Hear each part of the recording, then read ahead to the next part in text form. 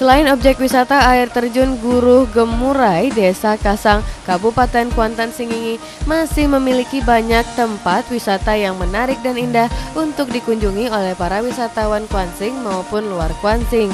Salah satunya adalah tempat wisata air terjun tujuh tingkat Batang Koban di Lubuk Ambacang, Kecamatan Hulu Kuantan, Kabupaten Kuantan Singingi.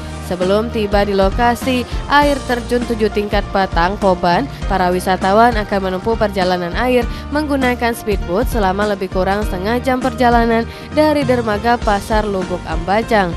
Selama perjalanan menggunakan speedboat, wisatawan akan disuguhkan dengan pemandangan yang indah di sepanjang sungai Kuantan Singingi.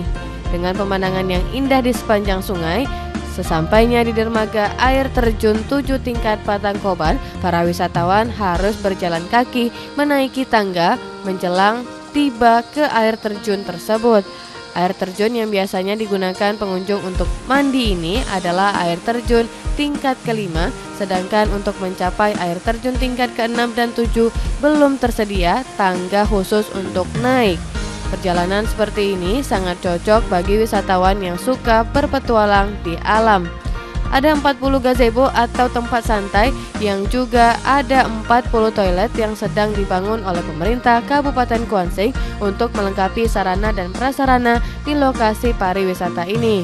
Menurut Sekda Kuansing, Tianto Mampanini, pembangunan gazebo dan toilet ini sudah mencapai 80% dan ditargetkan selesai akhir tahun ini.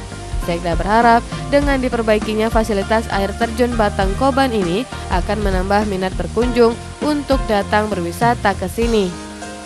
Di salah satu objek wisata Koban ini yakni air, ter, air terjun tujuh tingkat atau Batang Koban yang mana saat ini dalam uh, pengerjaan fasilitas sarana dan prasarananya uh, ada lebih kurang 40 unit uh, gazebo kemudian ada 40 eh, unit juga uh, toilet dan nanti ada berapa musola. Nah ini progres pada saat ini sudah mencapai 80 persen. Nah, mudah-mudahan sampai akhir tahun ini bisa kita sukses satu persen. Namun ini masih uh, pengerjaan tahap pertama melalui dana DAK uh, Kementerian Pariwisata. Mudah-mudahan tahun depan kita akan mendapatkan lagi uh, anggaran untuk pembangunan selanjutnya.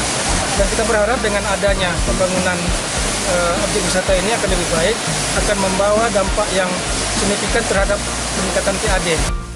Pengunjung yang datang ke lokasi wisata ini memanfaatkan keindahan alam di sekitarnya dengan berfoto serta menikmati makanan yang dibawa dari rumah bersama keluarga. Dari Kabupaten Kuantan Singingi, Mutriaka Caniago melaporkan.